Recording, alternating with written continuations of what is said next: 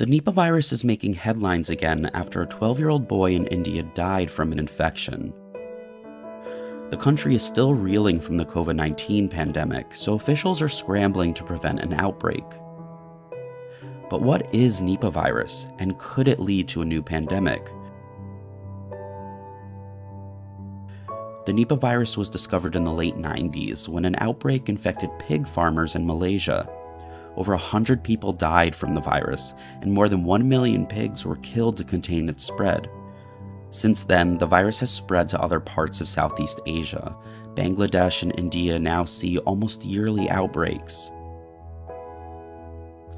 So, where did the virus come from? Well, Nipah is a zoonotic disease. That means it spread from animals to humans. Tests trace the Nipah virus back to fruit bats. Somewhere down the line, the virus mutated and spread to pigs.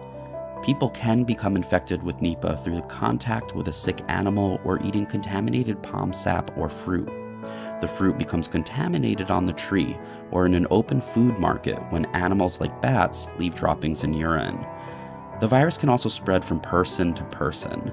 Symptoms can include fever, headache, cough, sore throat, similar to COVID 19, more severe cases can include seizures, difficulty breathing, coma, brain swelling, and even death.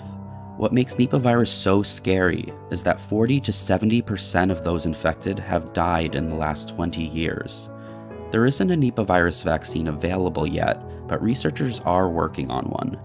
Researchers do agree that the spread of Nipah can be controlled by setting up surveillance systems to watch for outbreaks. This helps doctors know what they are treating, which can increase survival rates.